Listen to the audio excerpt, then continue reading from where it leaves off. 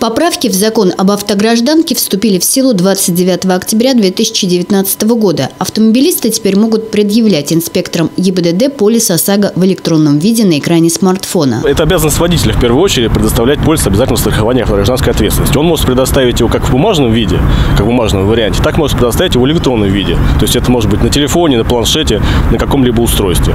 Соответственно, если у него при себе этого полиса нет, да, и никак проверить это невозможно, есть у него полис вообще, вообще а, оформлял в свою автогражданскую ответственность э, или не оформлял, на него составляется административный материал по статье 1237, часть 2. То есть э, за нарушение обязанности по страхованию своей автогражданской ответственности.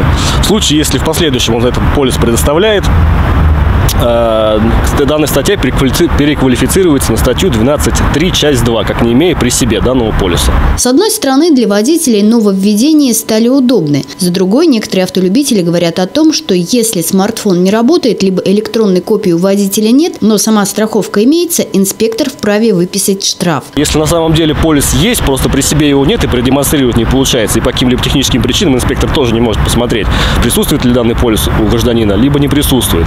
Данный гражданин после оформления административного материала может его обжаловать и уже на обжалование предоставить данный полис. Электронный полис представляет собой аналог бумажного, который юридически ничем не отличается от обычной бумажной страховки. Ну, скорее всего, все скоро перейдут на электронную. У нас же все на электронный вид переходит потихонечку. В этих полисах есть плюсы и в электронных, и в бумажных. Электронный полис удобен, его, как говорится, можно хоть 3, хоть 10 распечатать. Потерял это, а бумажный, он один, за ним надо ехать в офис, его как бы потеряешь, надо дубликат получать. Проблема в другая с электронными полисами. Люди оформляют сами, если они ошибаются в заполнении, по закону страховая отказывает в выплате. Абсолютно все равно электронный или бумажный. Нас любой устраивает. Надо сказать, что если телефон перестал работать, то инспектор может сверить данные полиса с данными Федеральной информационной системы. Но все же по закону предоставлять полис ОСАГО – это обязанность водителя. Олеся Котровская, Григлотов, телекомпания «Город».